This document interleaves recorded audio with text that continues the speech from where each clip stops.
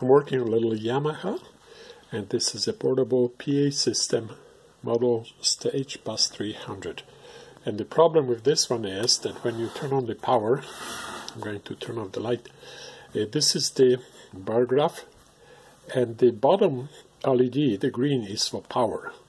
So watch what happens when I turn on the power switch. They all light up for a moment and the power LED doesn't light up and this does not work. So what I'm going to do is open it up and take a look what's happening. To open it up you need to use metric Allen wrench 2 millimeter and you have eight little screws like these and to remove the top you have to unplug this cable the main power and the speaker output cable. So I'm going to dig deeper and this is the power supply section right here under the screen. So I'm going to open it up and see what's going on. I have removed the two amplifiers from, uh, from this area and the way they are attached is they have a couple of sockets and a single screw and this is the Phillips number two uh, screw that holds it uh, in the console.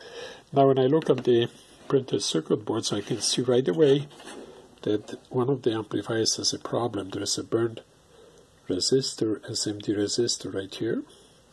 So I'm going to uh, try to fix this one, but in the meantime, uh, they need it for tomorrow, uh, so I'm going to see if it can run on a single channel, on a single amplifier, and then just take good care of this one, fix it up, and return it. Uh, but I'm gonna see if this will work uh, on a single channel, if there's a, uh, going to be any kind of a problem or it will talk. So we'll find out. I just tested uh, resistance on the pins on the two of the two MOSFETs and they're both that short. So this board I'm going to leave aside and for the time being I'm going to put just a good board and uh, this will be used uh, with a single speaker but I'm going to put it together and see if it works.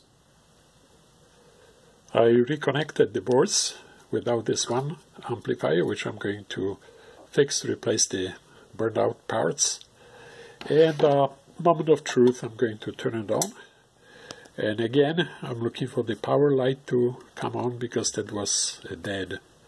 So let's turn it on. And this is good. Yep.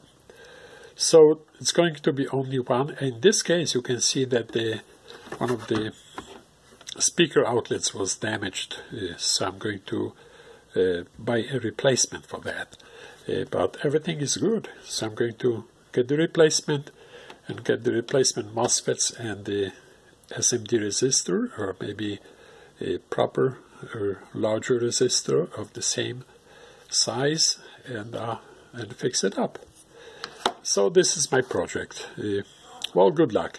If you have a problem with one of the channels uh, burned out and you wonder if this is going to work on single channel, all you do is just unplug the bad one and this thing should work for a while uh, until you fix it and replace the bad one.